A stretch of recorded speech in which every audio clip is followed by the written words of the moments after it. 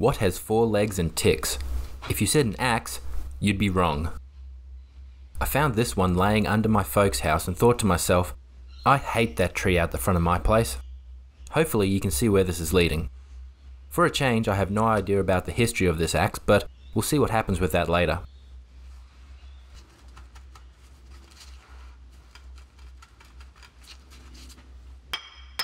Now, looking back, I realise how dumb it was to use a block hammer on this. It's left a few notches in the steel, and while I can file them out later, I was wanting to leave the shape as original as possible, even on this cheap axe.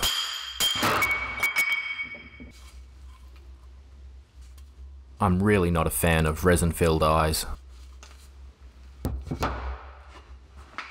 What they do is pour a liquid resin into the eye of the axe head to fill any voids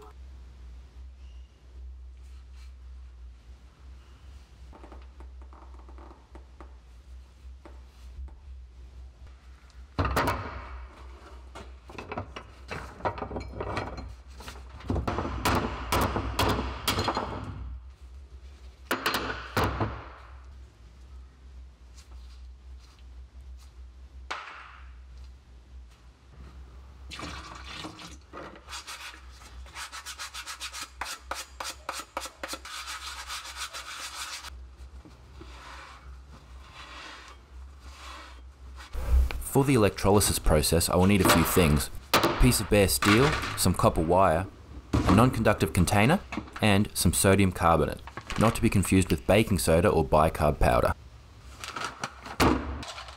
We will also need a way to push current through our parts. In my case, I chose a 12 volt 4 amp car battery charger.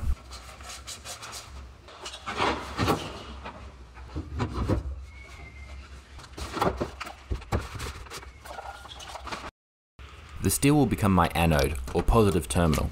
It must be submerged, so the copper wire will allow me to keep the alligator clip from my charger out of the way.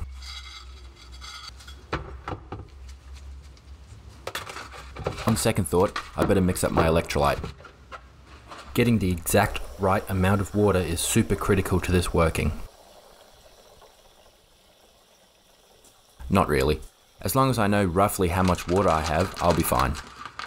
To this, I'll add 1 tablespoon of sodium carbonate per litre of water, or just under 4 tablespoons for each gallon of water.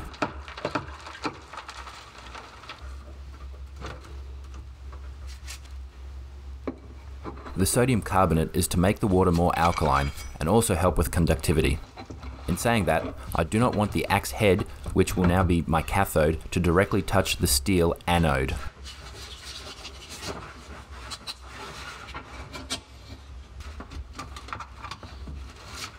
And an error. Most likely a fault protection circuit in the charger. So I give it the old switcheroo, and now we can continue.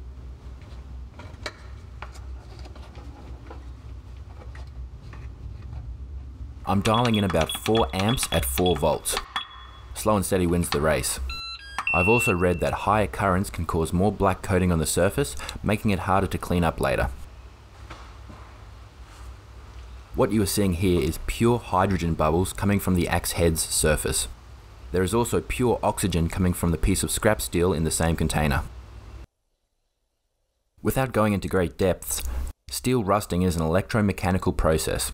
Because of this, we can force it to go in reverse by running current in the opposite direction. You'll notice a change in my setup as the voltage wasn't very stable. I added an extra anode and suspended the axe a little better for better conductance.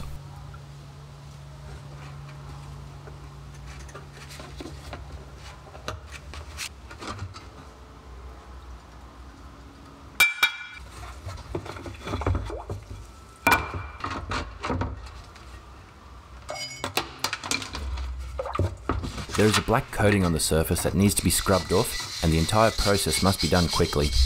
If it is allowed to dry, rust can form on the surface straight away.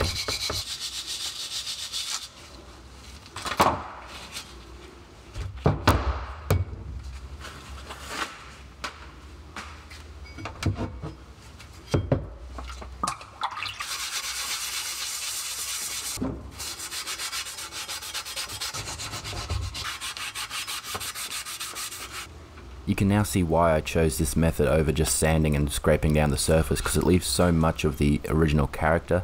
The metal wasn't that pitted and it's cleaned up well and I can even still see the original branding that's on the steel.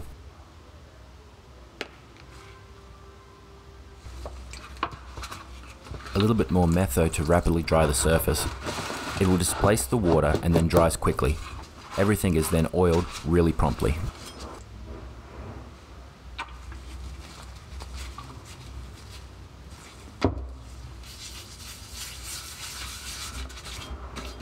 This is the point here where I kind of read the label a bit better now. I can see that this is actually made in Sweden, so it probably is a decent axe head.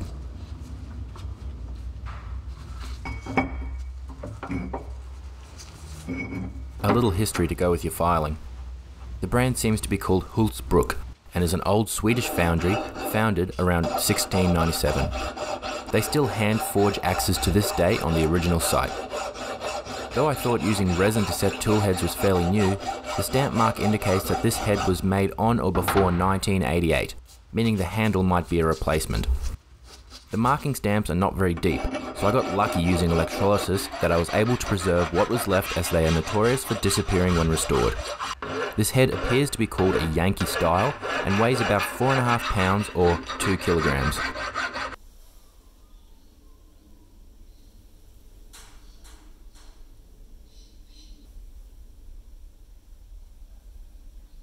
I've decided to remake the handle as I just couldn't find one in the store that was good enough quality. I was wanting some spotted gum, but ended up with this nice straight grained eucalyptus that they have referred to as Australian oak. Not sure it'll be tough enough for this application, but I'll soon find out.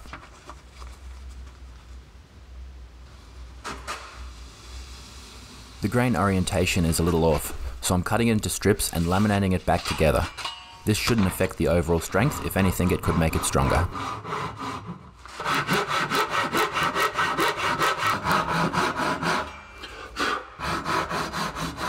As much as I like using this saw, it's the wrong type for rip cuts, so I found my old jigsaw to finish up.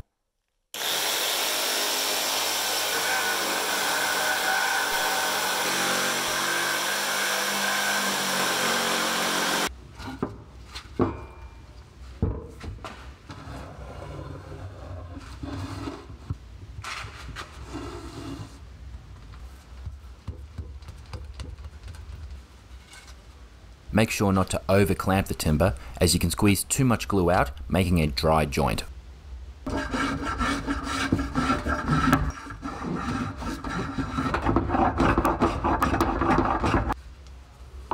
I decided to keep the curved handle with a fawn's foot end. I like the way they feel and they look nice as well.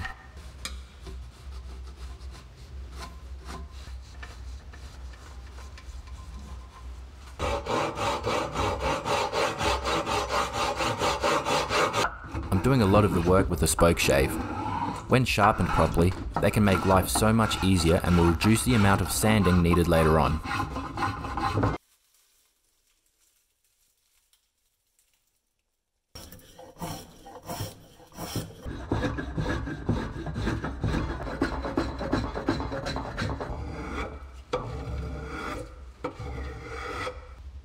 On the downside, I feel like I should have left the material a bit thicker in spaces, but we'll see how we go.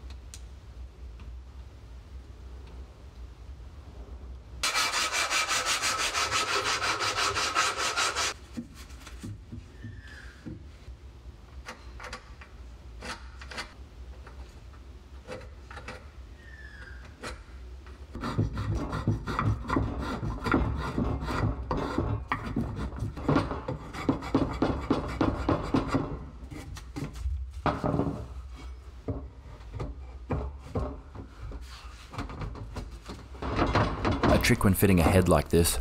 Make sure the inside of the eye is oily enough to leave marks on the wood. These are the spots that can be planed down for a better fit.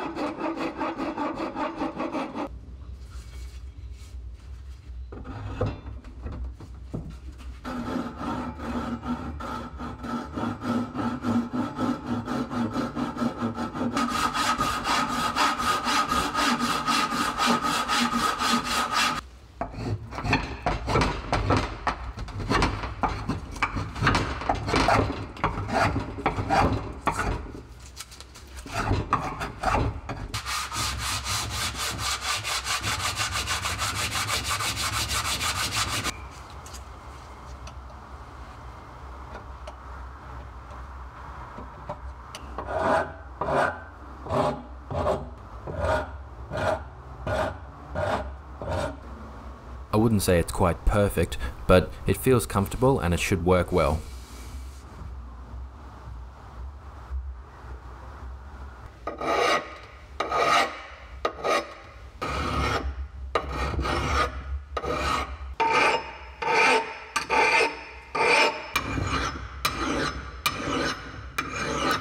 I specially went out and bought this sharpening puck, which is made for specifically sharpening axes. It's not entirely horrible, but I'm not the biggest fan. I went back to my tried and true method of just using sandpaper.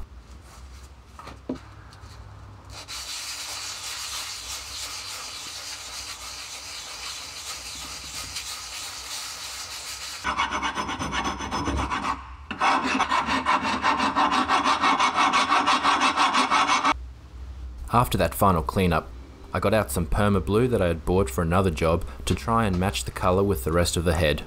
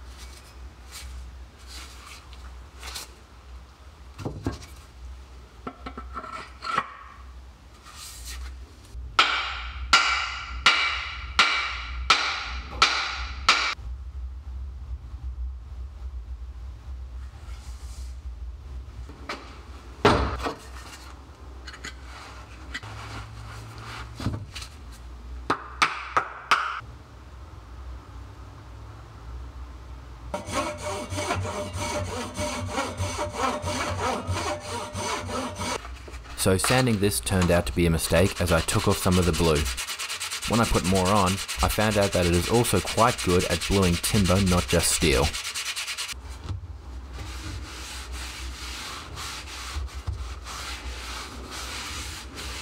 So this is just a bit of linseed oil that I used on the handle and I just used regular machine oil for coating the head.